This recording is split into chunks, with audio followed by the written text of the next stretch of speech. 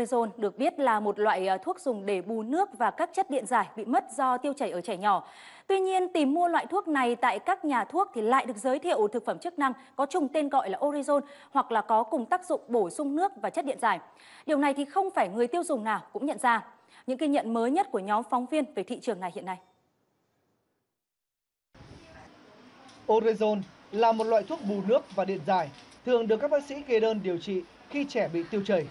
Còn đây, một số sản phẩm chung tên gọi hoặc được giới thiệu có thành phần tương tự nhưng lại là thực phẩm chức năng. Một số phụ huynh vẫn nhầm tưởng đây là thuốc mua về cho con sử dụng mỗi khi con bị tiêu chảy, nôn mửa. Trên cái chai này nó cũng sẽ ghi cái chữ như vậy, nhưng mà nó sẽ có nhiều hương vị ạ. Nhưng mà thời gian thì à, với nhiều người họ họ không tìm hiểu ạ, thì họ sẽ không phân biệt được à, đâu là đâu thực phẩm chức năng.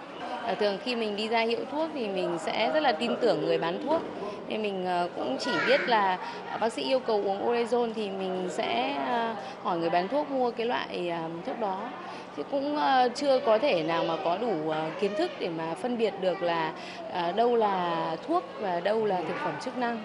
À, Tại nhiều cửa hàng thuốc xung quanh bệnh viện, trong vai người cần mua thuốc Orezon, nhân viên bán hàng cũng tư vấn cho người dùng loại thực phẩm chức năng này. Ở đây là nước giải khát Ờ, cái này chắc tiêu chảy đều điều trị tốt cái nào tốt hơn? Tức là như thế này cái này nó không điều trị tiêu chảy đâu. À. mà là do bị tiêu chảy nên nó bị mất nước. Ừ. nó bù cái này uống để vào để bù cho nó khỏi mệt thôi. Bị tiêu chảy ờ, muốn mua ít Torenzol để lấy bù nước.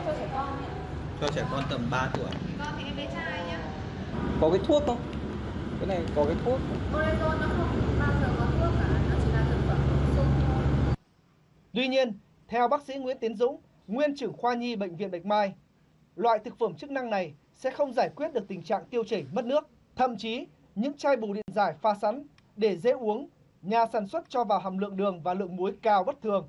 Bệnh tiêu chảy có thể nặng hơn. Anh đang tiêu chảy, tiêu chảy là bệnh nguy hiểm nhá, đúng không? Nếu mất nước là nguy hiểm, mà anh lại uống cái dung dịch đấy vào thì không thể chữa bệnh được. Mặc dù về mặt pháp lý pháp luật thì người ta ghi lên trên đấy là thực phẩm này không phải là thuốc, không thể thay thuốc thuốc chữa bệnh. Nhưng xin thưa với bạn là nó chưa nó biết đi theo theo theo này này. Cũng theo bác sĩ Dũng, phụ huynh không được chủ quan với việc bù nước và điện giải cho trẻ. Việc mua Orizon không đúng chỉ định, mua nhầm phải thực phẩm chức năng có thể khiến trẻ đang bị tiêu chảy, bị trụy tim mạch, thậm chí tử vong vì không được bù nước và chất điện giải kịp thời.